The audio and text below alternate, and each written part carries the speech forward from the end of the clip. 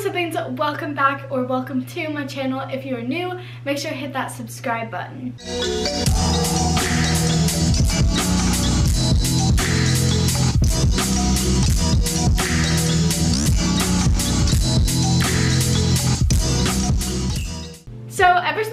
To Missouri, I haven't done like a sit down video in my room and I was really excited about it because I finally decorated it so it looks really cute. But this is like the first video in a very long time that won't have my boyfriend in it because I'm always with him so he's just always in my videos. But for once, I'm just taking a day watching Netflix at home. So I thought it'd be fun to do a little bit of a story time today. And this one is very dramatic and very fun. It's just, it's a great time to talk about. so today I'm gonna be telling the story of how I met my step siblings, like the week we all moved in with each other and just what it was like to all of a sudden get four new siblings when I was already like 10 years old. Before get started, I don't have a sponsor for today's video, so I'm to talk about my own brand. I have a clothing brand called Open Source. If you guys want to buy some of that merch, it would be a great help. Click the link in the description to buy it today. Without further ado, let's go ahead and get started. So a little bit of a background story. When I was six years old, my parents got a divorce and I and my two brothers moved in with my dad. And we never really had like set days like mom days and dad days. It was just like, if you want to go hang out with mom, you can. She was always welcoming us to come stay the night there. We're always invited, but she wasn't super upset if we had plans with friends because the older we got as we became teenagers and stuff, it's like, oh, well, I can't come over on Thursday, mom, because me and my friends are going and doing this or whatever. So it's never been like mom and dad days. It's just I live with my dad, and if I want to go see my mom, then I can see her anytime I want. So personally, I would usually go to my mom's once, maybe twice a week and spend the night with her. And my brothers would come every once in a while. They'd always come hang, but they'd spend the night every once in a while because she usually only had one guest bedroom and you know, you kind of miss your bed, so you don't want to bounce back and forth. And my mom just wanted to make it like easier on us to not say, okay, spend the night with me, then spend the night with your dad. Just stay with your dad and you can just come have dinner with me. So that's about how my childhood went as far as having divorced parents. But just a side note, if anyone's wondering, my mom just moved to South Carolina, so she's not in like any videos anymore. That's why, but me and Dawn are gonna go visit her in the summer. So let's get started with how I met my step siblings. So I was 10 years old and my dad had been dating for a few years, I think, by now. So my parents got divorced when I was six and then my dad got remarried when I was 10. So to me, we all went to Disney World, which is like a crazy place to meet each other because you're already kind of just like hectic, kind of stressful, but also having like super fun. So I guess it was a good idea. But my oldest brother Jordan had world's competition for cheer at Disney World. So we decided to go and they were gonna meet us there and we're all gonna meet. My first impression was I was gonna have new, two new sisters and two new brothers and all of them are older than me except for Benji, my stepbrother. He's six months younger than me, so we're the same age. So I met them and the girl who was my age, which is Hannah, we at first did not like each other. We were like, who is this girl? Like, personally, I was like, wow, she's kind of bratty. Wow, she thinks like everything's about her. I don't know, I just like didn't like her and I don't feel bad saying that because I know that she didn't like me also. We've talked about it. And then my older sister Lauren, she was just so much older and I didn't really like know how to act around her. I didn't really I don't know. I've never had an older sister. I've never had a sister before any in general. And I always told my dad when he was dating like whoever you marry has to have a daughter because I want a sister and now I have two. So so there's that. And then my brothers, I did not spend any time with them. Uh, they were just off doing their thing. It's kind of like the boys went off and did their thing and the girls went off and did their thing. Plus I barely remember this experience at all.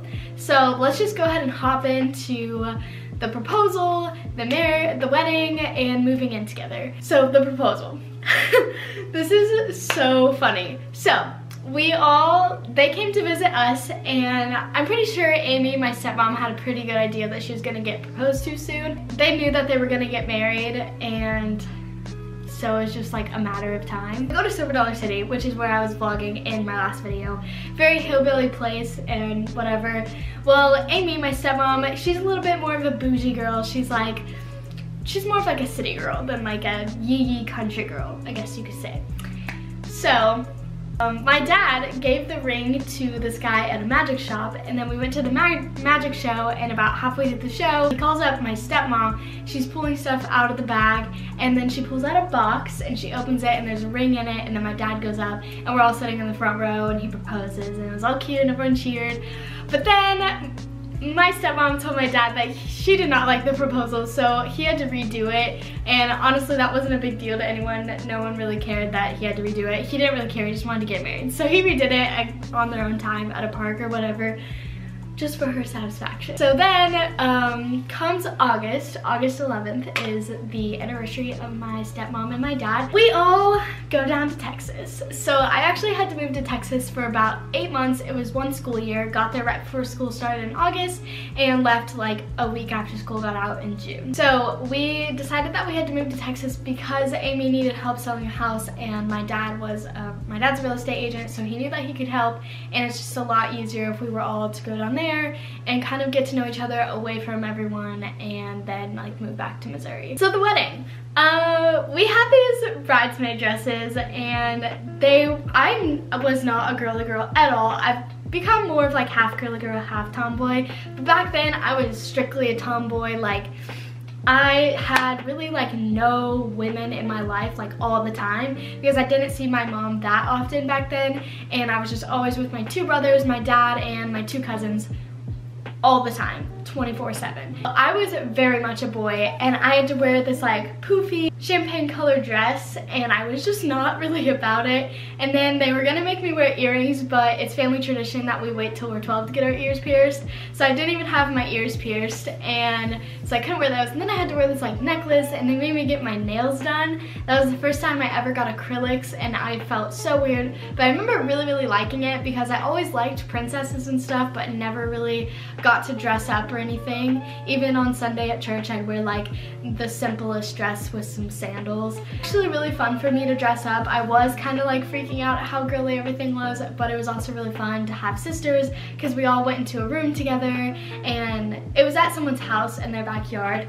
And so my sisters were like helping me get ready and it was the first time I really had like a bunch of girls like together other than like my cousins that were helping me get ready and stuff. And they did my hair and they put on mascara on me for the very first time ever and I was like just feeling like a literal princess, but I also felt so girly. It was weird. But we had the wedding. It was about 102 degrees outside in Texas, so it was like very hot. It was super fun and whatnot. And then my parents left for their honeymoon that night, my stepmom and my dad.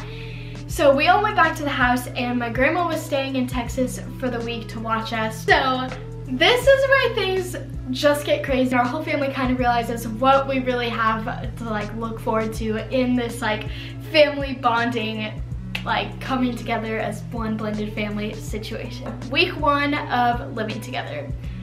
We were all thrown into this house and I had to share a room with Hannah. Lauren had her own room and then Jordan and Michael shared a room and Logan and Benji shared a room. And if you guys know my family and stuff, then you know who these people are.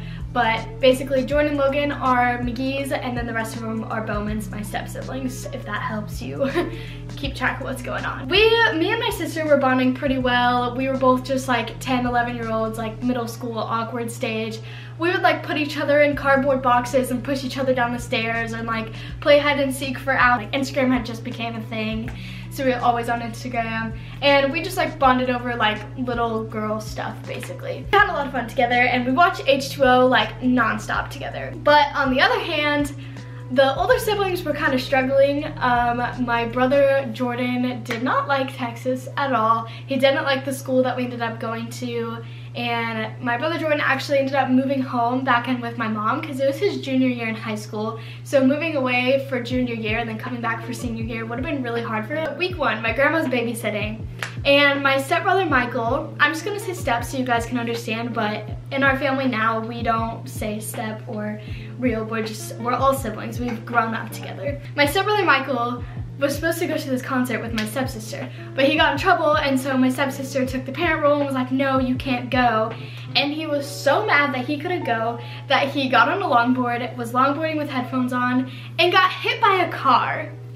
So, It's like three days into my parents' honeymoon. My brother gets hit by a car. He's in the hospital. They're in Alaska on a cruise. They can't come home. They don't know what to do. My grandma's freaking out. Everyone's crazy. We're all fighting. We aren't getting along as well as everyone kind of thought we would.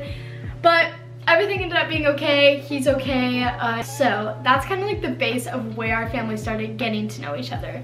Oh, every night we had family prayer and so we'd all gather around this one spot in the house like on top of the stairs kind of and my brother Michael would never take off this blue beanie he had. Back then Michael was like this gangster, he did not care what the parents said type of boy. I don't really know how to explain. He was pretty just like whatever Michael wanted, Michael wanted and he did it. But he's changed a lot since then. All of us have changed a lot since then, so that's why I don't really feel bad talking about how like mean we were and all this kind of stuff. Uh, so Michael would never take off his beanie. Lauren would barely ever show up for family prayer. And then someone was always fighting, so that's about how that went, trying to bond. Go through real quick. The first year we met each other, Jordan left. We don't really know. He was gone, so ya. He'd come back and visit for like Christmas and like he'd come back and visit like decently like all the time. It was always really fun and he brought good energy in.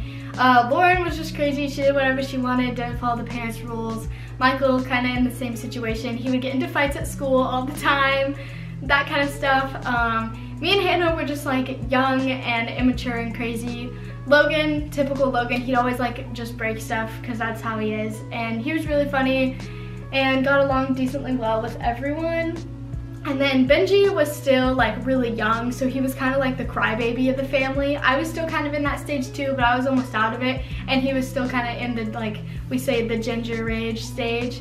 So that's how the whole, that's how we all fit together. Time to move home and my oldest sister Lauren refused. She'd already graduated high school, so I, she had the right to do whatever she wanted. She wouldn't come out of the house and we sold it, so she can't stay in it. But we had to go in her room drag her mattress out by the mailbox and we locked the door and we left. We just left her on the side of the road. I mean this was like, we didn't try to do it to be mean or anything like that, but like at the time, like she was an adult, she could make her own decision by then. If she didn't want to come, then we were not gonna stay. We told her we were leaving. We told her she had an invite and she didn't want to come. So we left her on the side of the road and yeah, I honestly don't really know what happened. I remember her coming back like a few months later, I think. I don't know, I was so young I barely remember that, but we were all laughing pretty hard and she was really, really mad, but now it's funny and we all joke about it. Then we moved back to Missouri and we moved into this house. At the time, me and my sister were at the other hallway sharing a room. Um, Jordan and Logan were in this room that I'm in right now, and then Michael and Benji were in the room next to me. When Lauren came to visit, she would either sleep in me and Hannah's room, or just like in the uh, theater room or wherever she wanted basically. So everything was going well once we moved back here. We all kind of started to get along better. I think it helped to have a whole new fresh start away from like all the like drama of getting to know each other and in that house and everything that we went through. So it was good to come here. There wasn't really much drama after that. Of course, there's always family drama. There was always stuff going on but we've all bonded and became best of friends. And if you guys want to see videos of us together now, we did a sibling tag back in December. It's one of the first videos, maybe one of the only videos that all seven kids are in. So if you want to click on that, I don't know which side it's on. Yeah. It's really entertaining and fun. You can kind of see our personalities now and how we all get along. We love each other and we're all best friends. We're always here supporting each other. And I'm really thankful that I've had the opportunity to like get to know them and really just like have a whole new perspective on life because before it was just like just me and my two brothers just chilling and then I had to learn how to live with people that I didn't like, I didn't know. We're all really close now that's kind of the story of how we all moved in together. We all joke that we wish uh, that we had like a reality TV show or that I had started vlogging sooner because there was so much drama that I can't keep track of. I don't remember most of it. I just remember constant like fighting of the siblings and just lots of drama between like for a long time it was like Bowman's versus McGee's and we just weren't bonding. But it's all good now and we all love each other and I'm so thankful to have such a big family and to grow up with them since I was 10 years old it's been great. So I'm gonna get another stepsister soon. She's Logan's age, she's 21, and my mom's engaged. She got engaged in December. They've been dating for like five years, so I already think of her as my sister, but yeah, it's gonna be a good time and so that means I'm gonna have eight siblings. Can't wait. so that's the story of moving out with my siblings and all that. Hope you guys enjoyed. Hopefully it made sense. I kind of just wanted to throw out random stories about like dramatic stuff and what it was really like to move in with them. I know a lot of other people probably have similar situations, but I feel like mine is very different just because like literally had to move. Um, we, we all didn't like each other and there was so many of us. So yeah, there's my story. If you guys enjoyed it, make sure to subscribe because this summer, hopefully a lot of family members will be coming back to visit all the time and we can make lots of vlogs together. I can't wait and I love you guys. Thank you so much for watching. I'll see you in the next one. Bye.